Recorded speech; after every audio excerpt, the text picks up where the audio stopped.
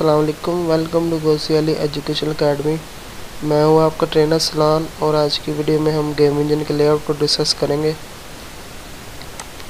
ये मैंने recently project जो बनाया था आपके साथ वो मैंने ओपन कर लिया हुआ है। अगर आपको ओपन करना तो आप सिंपल यहाँ से यूनिटी हब ओपन करेंगे सबसे पहले।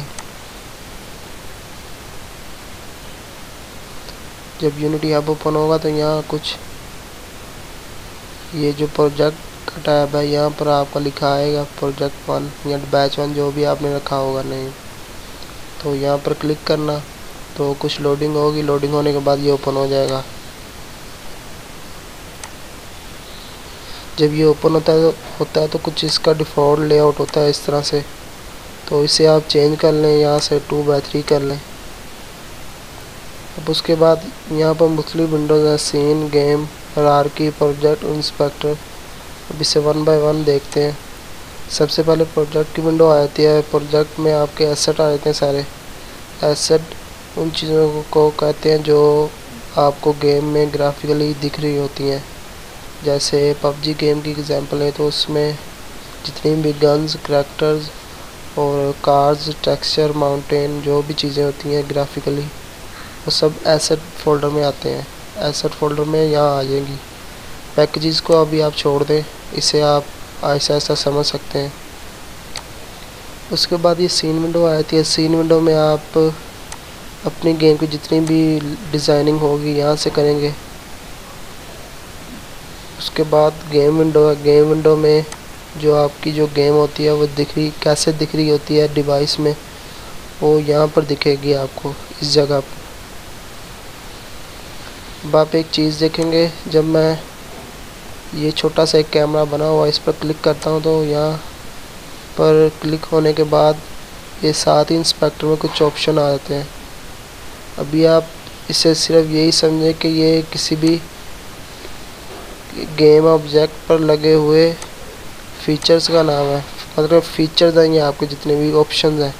इसे आप यहाँ से मॉडिफाई कर सकते हैं अपनी मर्ज़ी से। अब इसे मैं आप देख सकते हैं, मैं इसे जब करीब भी लेके जा सकता हूँ और दूर भी जा सकता हूँ, इसे आप माउस का जो स्क्रॉल है, इसे जब आप आगे की तरफ़ लेके जाएँगे तो ये आपके करीब हो जाएगा कैमरा जब इसे आप पीछे की तरफ़ ले के जाएँगे तो इस तरह से वो आपसे दूर होता जाएगा। जब आप व्यू चेंज करना चाहते हैं, यहाँ से टू कर लें या थ्री कर लें आपकी मर्ज़ी है। ये थ्री हो गया व्यू तो राइट क्लिक दबाकर आप इसे इस तरह से व्यू चेंज कर लें अपनी मर्ज़ी से। मेरे पास एक बटन पड़ा हुआ है, उसे मैं यहाँ पर इंपोर्ट करता हूँ और आपको दिखाता हूँ। ये बटन है, इसे मैं ड्रैग करके सिंपल यहाँ पर ड्रॉप करता हूँ। तो जैसे मैंने कहा था कि एसेट विंडो में आपके जितने भी एसेट होते हैं, वो आते हैं। तो बटन भी एसेट में ही आते हैं। तो अगर मैं इसे सीन विंडो पर लाना चाहता हूँ तो यहाँ पर सिंपल इसे ड्रैग करके यहाँ पर ड्रॉप कर दूँ और जैसे मैंने ड्रॉप किया है, इसका हिरार की विंडो में इसका नेम विद ऑब्जेक्ट बनकर आ गया।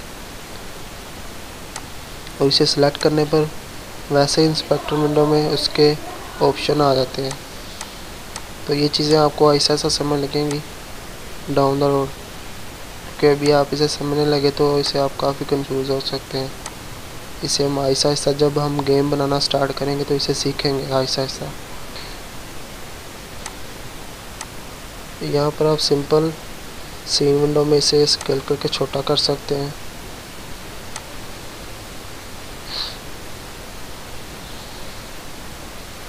ये देखें। आज की वीडियो में बस यही था कि मैंने आपको लेआउट को के बारे में समझाना था थोड़ा सा। ऐसा ऐसा हम लेआउट डिस्कस भी करेंगे और ज़्यादा डीप जाएँगे इसके। तो अगर आपको कोई मुश्किल आती है इसमें कोई चीज़ समझ नहीं आ रही तो आप मुझे कमेंट बॉक्स में बोल सकते हैं। अगर आपको वीडियो अच्छी लगी है तो इसे लाइक करें और वीडियो को शेयर करें ज़्यादा से ज़्यादा और चैनल को भी सब्सक्राइब करें। इन नेक्स्ट वीडियो में मिलते हैं आपसे। तब तक के लिए अल्लाह हाफिज़।